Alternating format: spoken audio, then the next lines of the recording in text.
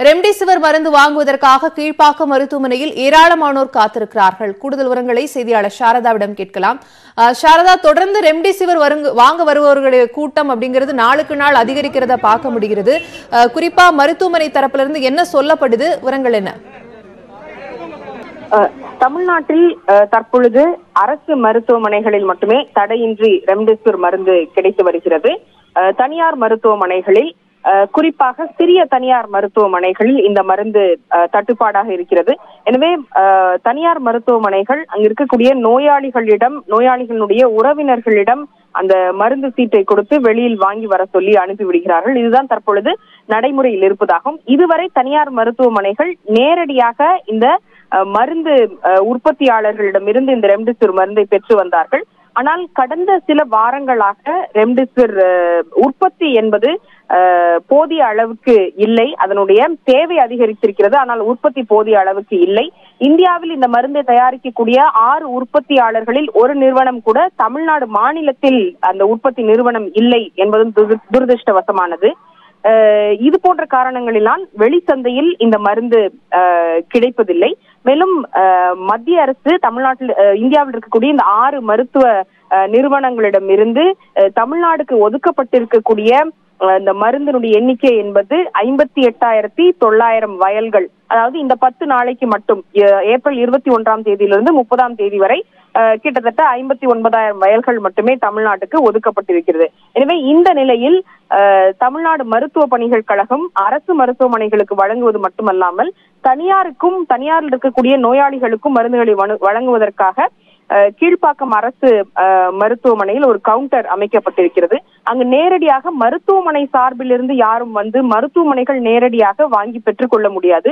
ஒவ்வொரு நோயாளினுடைய உறவினரும் அந்த நோயாளிக்கு இந்த மருந்து தேவைப்படுகிறது என்பதற்கான அஹ், சான்றுகளை கொண்டிருக்க வேண்டும். அதாவது மருந்து சீட்டு ஆக்சிஜன் சப்போர்ட் தேவைப்படக்கூடிய நோயாளிகளுக்கு தான் இந்த மருந்து கொடுக்க வேண்டும் என்பது மருத்துவர்களுடைய மற்றும் மத்திய அரசினுடைய கொரோனா சிகிச்சை வழிகாட்டுதலின் கீழ் அஹ், கூறப்பட்டிருக்கிறது. எனவே அதற்குண்டான சான்றுகளை அவர்கள் கொண்டு வந்த பிறகுதான் அவர்களுக்கு இந்த மருந்து வழங்கப்படுகிறது. தமிழ்நாட்டை பொறுத்த வரைக்கும் அஹ், தற்பொழுது வரை கீழ்ப்பாக்கம் அரசு மருத்துவமனையில் மட்டும்தான் இது போன்ற ஏற்பாடு செய்யப்பட்டிருக்கிறது. எனவே சென்னை மட்டுமல்லாமல் பல மாவட்டங்களிலிருந்து அஹ், கடந்த இரண்டு மூன்று நாட்களாக இந்த தகவலை தெரிந்து அருகில் இருக்கக்கூடிய மாநிலங்களிலிருந்தும் கூட பொதுமக்கள் நோயாளிகளுடைய உறவினர்கள் இங்கு வந்து கூடுகிறார்கள். கூட்டம் அலைமோதுகிறது என்பதை நாம் காட்சிகள் மூலமாக கடந்த இரண்டு நாட்களாகவே பார்த்து வருகிறோம். ஒரு நாளுக்கு சுமார் நூத்தி ஐம்பது டோக்கன்கள் மட்டுமே அங்கு வழங்கப்படுகின்றன. ஒரு நபருக்கு ஒரு டோக்கனுக்கு அதிகபட்சமாக ஆறு வயல் இந்த மருந்து என்பது வழங்கப்படுகிறது. எனவே நேற்று ஒரு நாளில் மட்டும் ஆயிரத்தி எழுநூறுக்கும் மேற்பட்ட மருந்துகள் நேற்று ஒரே நாளில் விற்கப்பட்டிருக்கின்றன. இன்னும் நாட்கள் செல்ல செல்ல இது போல் இந்த இங்கு வழங்கப்படுகிறது என்ற தகவல் தெரிந்து பலரும் கூட இங்கு வந்து வரிசையில் நீண்ட நேரமாக பல மணி நேரமாக காத்திருக்கிறார்கள். அதே போன்ற நிலைதான் அஹ், இன்றும் அஹ், ஏற்பட்டிருக்கிறது. அஹ், ஐந்து மணியுடன் இந்த மருந்தை விற்பனை செய்வதற்கான அந்த கவுண்டருக்கான அந்த அவகாசம் அஹ், முடிகிறது. இதனை அஹ், நீட்டிக்க வேண்டும் என்று கூட இன்று நடைபெற்ற செய்தியாளர் சந்திப்பில் சுகாதாரத்துறை அஹ், செயலாளரிடமும் கேட்கப்பட்டது. இது குறித்து தமிழ்நாடு மருத்துவ பணிகள் கழகம் அஹ், முடிவு செய்யும் என்றும் தமிழ்நாட்டில் வேறு இடங்களில் இது போன்ற கவுண்டர்கள் அமைக்கப்படும் என்றும் கூறப்பட்டிருக்கிறது.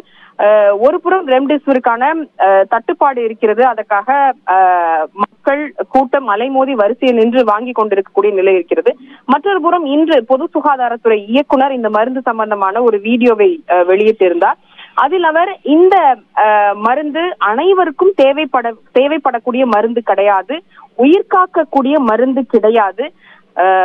ஆக்சிஜன் சப்போர்ட் தேவைப்படக்கூடிய நிலையில் இருக்கக்கூடிய ஒரு சில நோயாளிகளுக்கு மட்டுமே இந்த மருந்து தேவைப்படும். எனவே மருத்துவமனைகள் உங்களாலேயே இந்த மருந்தை வாங்க முடியாவிட்டால் எப்படி நோயாளிகளை மருந்து சீட்டு கொடுத்து அனுப்பி அவர்களை அலைக்கழிக்கிறீர்கள் என்று அஹ், கேள்வி எழுப்பியிருந்தார். எனவே ஆனால் அங்கு வரக்கூடிய நோயாளிகள் அனைவரும் மருத்துவர்களுடைய மருந்து சீட்டை பெற்று மருத்துவர் கூறக்கூடிய அறிவுறுத்தல்கள் மூலமாக மட்டுமே அங்க வந்திருக்கிறார்கள். எனவே அரசு ஒரு புறம் இந்த மருந்தினுடைய அஹ், பயன்பாடு எப்படி இருக்க வேண்டும் யாருக்கு இருக்க வேண்டும் என்று வலியுறுத்துகிறது. மறுபுறம் அஹ், தனியார் மருத்துவமனைகளில் மருத்துவர்களுடைய சீட்டை பெற்றுக்கொண்டே நோயாளிகளுடைய உறவினர்கள் வரிசையில் காத்துக் கொண்டிருக்கிறார்கள். பல்வேறு தரப்பான முரண்பட்ட கருத்துகள் இந்த மருந்தினுடைய பயன்பாடு குறித்து வந்தாலும் அஹ், களத்தில் நாம் காண்பது என்பது இந்த மருந்துக்காக எப்படியாவது தங்களுடைய உ- உறவினர்களை காப்பாற்றி விட வேண்டும் என்ற ஆதங்கத்தில் பல மணி நேரமாக இந்த வெயிலில் அஹ், காத்திருக்கக்கூடிய காட்சிகளை அஹ், பார்க்க முடிகிறது. அஹ், மத்திய அரசிடமிருந்து அஹ், மேலும் இந்த ரெம்டெசிவிர் மருந்து பெறுவதற்கான முயற்சிகளை தமிழக அரசு எடுத்து வருவதாக கூறுகிறது. அஹ், உற்பத்தியாளர்கள் தரப்பிலிருந்து பெரிதாக நம்பிக்கை அளிக்கக்கூடிய வகையில் இதுவரை தகவல்கள் ஏதும் அஹ், இல்லை. தமிழ்நாட்டை பொறுத்த வரைக்கும் கடந்த அஹ், நான்கைந்து நாட்களுக்கு முன்பாக நம்மிடம் இரு- இருபது நாட்களுக்கு தேவையான ரெம்டெசிவிர் மருந்து இருப்பு இருப்பதாகவும் மேலும் இரண்டு லட்சம் கொள்முதல் செய்வதற்கான ஆர்டர்கள் வழங்கப்பட்டிருப்பதாகவும் கேட்கப்பட்டிருப்பதாகவும் தமிழக அரசு தெரிவித்திருந்தது. இந்த நிலையில் இந்த மருந்துக்கான தட்டுப்பாடு இன்னும் நிலவிக் கொண்டே இருக்கிறது. நோயாளிகளுடைய உறவினர்கள் அலைக்கழிக்கப்படுகிறார்கள் என்பது மட்டும் உண்மையாக தெரிகிறது. ஐந்து மணியுடன் விநியோகம் ரெம்டிசிவருடைய மருந்து விநியோகம் முடிந்துவிடும் நிலையில் ஏராளமானோர் வரிசையில் காத்திருக்கக்கூடிய அந்த காட்சிகளை பார்க்க முடிகிறது. தொடர்ந்து மருத்துவர்களும் இதை வலியுறுத்தி வருகிறார்கள். ரெம்டிசிவருடைய தேவை குறிப்பிட்ட சிலருக்கு மட்டும்தான் அது அத்தியாவசியமாக தேவைப்படும் என்பதையும் கருத்தில் கொண்டு இதை வாங்குவதற்கான கூட்டமும் அதிகரித்துக் கொண்டிருக்கிறது. உரங்களை விரிவாக வழங்கியமைக்கு நன்றி சாரதா. தமிழகத்தில் மே ஒன்றாம் தேதி முதல் ஆசிரியர்